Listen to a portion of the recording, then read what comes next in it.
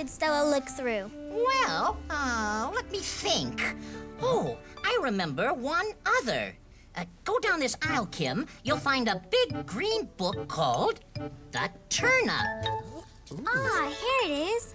The turnip. Barney, this book has a funny shaped bookmark sticking out the top.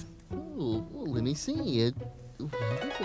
It's Oh. the six from Stella's alarm clock. Oh, I wonder what the number six has to do with the story of the turnip. Hey, why don't I read it and we'll find out? oh, yeah, oh, that's a great idea. Hmm. Once upon a time, a farmer planted a teeny tiny turnip seed in his vegetable garden. Then he gave the little seed a drink of cool water. Mm-hmm.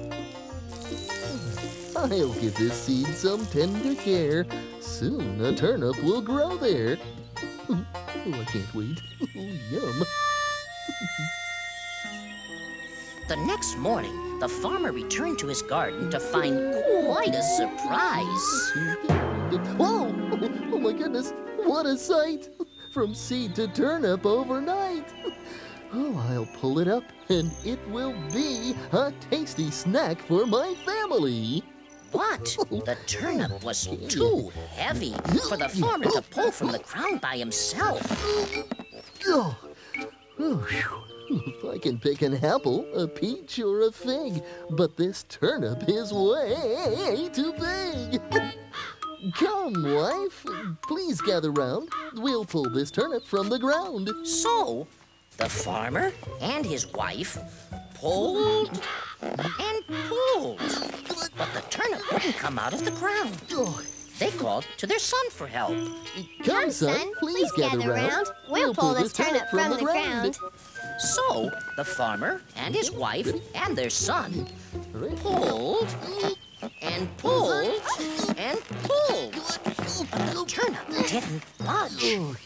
They called the dog for help. Come, doggy, please, gather round. We'll pull this turnip from the ground. Then the farmer and his wife mm-hmm. and their son and their dog mm-hmm. pulled and pulled and pulled and pulled. But the turnip still didn't come out of the ground. So they called the cat for help.